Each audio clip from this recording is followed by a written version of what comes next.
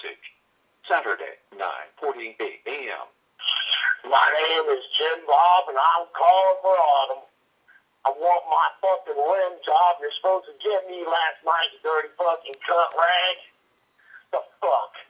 You dirty motherfucking cunt. I really fucking hate you. I was just thinking about nothing at all, and I checked my Facebook and, well, know, somebody else laughed at my last comment. At least my little phone comment I left. And now I have to leave another one. I'm not working to pay to do this shit. So you should do it better, so fuck you, okay? Fucking take a fucking giant fucking dildo wrapped with barbed wire covered with fucking petroleum jelly and shove that shit up your fucking nose hole.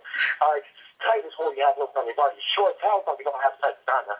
I mean, Jesus, you haven't had a tight vagina since you was like, what, 13 years old and the first time you had a gangbang by 18 niggers? oh, you're just a dirty fucking cunt. I mean, seriously. Really? You can't keep a fucking phone. You saw my phone number pop up. You know it wasn't me. You're just, you're stupid too. I mean, fucking stupid. I mean, really, dead as a fucking two by four. I mean, alright, there are smarter fourth graders out there, alright, than you. There are smarter special education fourth graders out there than you. And I'm not saying anything about those poor kids, because I mean, you know, I ain't trying to touch that with a 10 foot pole. Just like I won't touch you with a 10 foot pole either, or 15 foot pole, or 20 foot pole, or any pole with that matter. Alright? And fuck. And you, I'm lucky that I, you know, I feel that like I, every time I get my money from you, I gotta wash my hands. Yeah, but that, that's my motherfucking money, so I need it.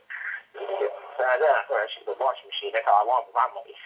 Anyways, getting off subject. You dirty fucking nasty cunt rag, roast beef vagina, fucking three day old pap smear sample with shit stains.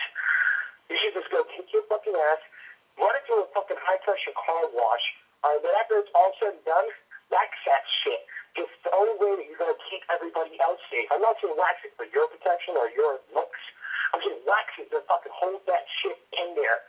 Because I fucking come to a realization today, I don't give a fuck how much acid or anything you use, never gonna clean that fucking nasty vagina out, you dirty fucking cunt rag or bitch. End of messages. So lovely. Thank you, JR. Feel so loved.